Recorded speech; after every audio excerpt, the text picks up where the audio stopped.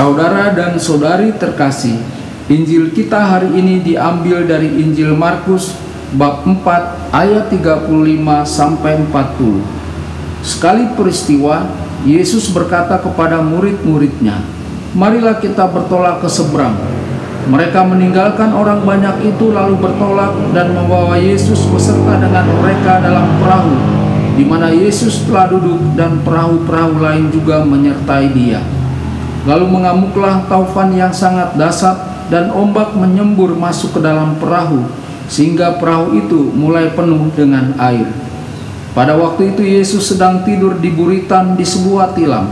Maka murid-muridnya membangunkan dia dan berkata kepadanya, Guru, engkau tidak peduli kalau kita binasa? Ia pun bangun menghardik angin itu dan berkata kepada danau itu, Diam, tenanglah. Lalu angin itu reda dan danau itu menjadi teduh sekali. Lalu ia berkata kepada mereka, "Mengapa kamu begitu takut? Mengapa kamu tidak percaya?"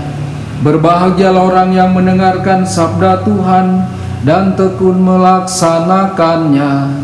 Sabdamu adalah jalan, kebenaran dan hidup kami.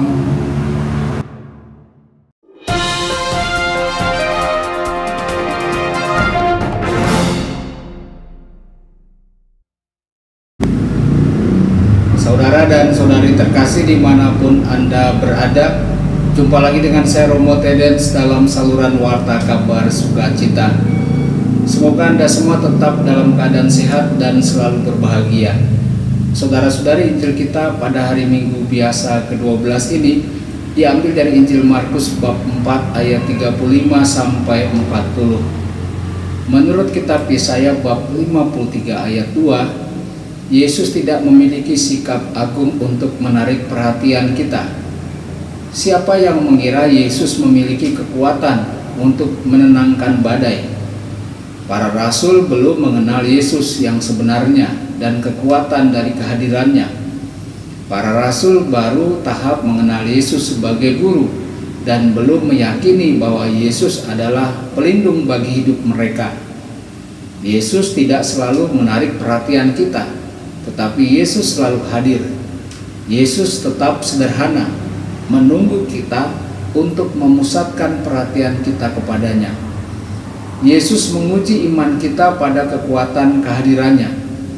Saudara-saudari, luangkanlah waktu sejenak untuk mengarahkan pandangan rohani Anda kepada Yesus yang hadir dalam perahu Anda. Laut Galilea lebih seperti danau kecil Hampir sepanjang tahun, langit cerah menghiasi para nelayan. Namun, badai dapat terjadi sewaktu-waktu tanpa diketahui tanda-tandanya. Dari bibir pantai, ombak tidak terlihat mengancam. Ketakutan adalah respon normal dari mereka yang terjebak dalam badai ganas di perahu nelayan kecil. Para rasul ketakutan akan hidup mereka lebih dari terkejut oleh kedatangan badai. Mereka tidak percaya pada Yesus yang menurut mereka tidak peduli pada keadaan buruk mereka. Bagaimana mungkin Yesus tetap menyendiri? Saudara-saudari, sebuah kesempatan hilang bagi mereka hari itu, yakni kesempatan untuk bertumbuh dalam iman dan kepercayaan yang lebih dalam, yang merupakan respon dari seorang murid yang matanya tertuju pada juru selamat yang selalu hadir. Saudara-saudari yang terkasih, Yesus menggunakan kata-kata yang sama dalam Injil Markus bab 1 ayat 25 untuk membungkam setan. Sementara Yesus menghardik angin dan menaklukkan laut yang bergolak, mungkin Yesus juga berbicara kepada roh-roh para rasul yang gelisah.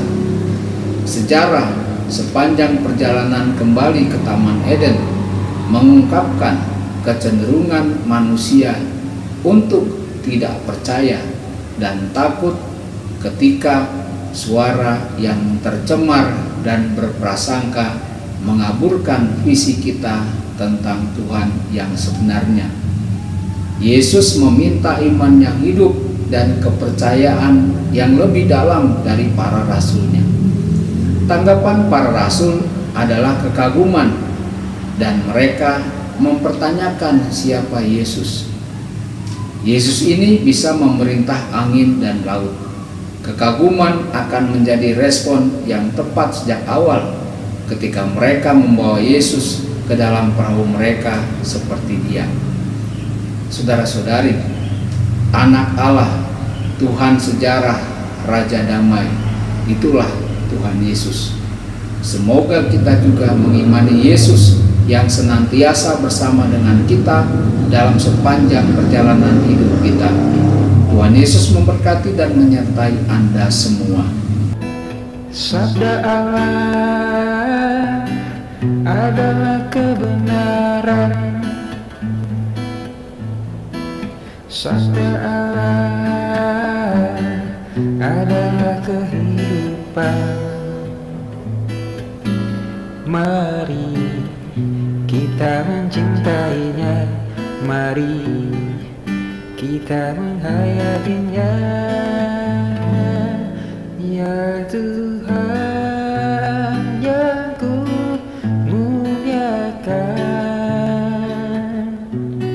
Sadamu, angkat resahku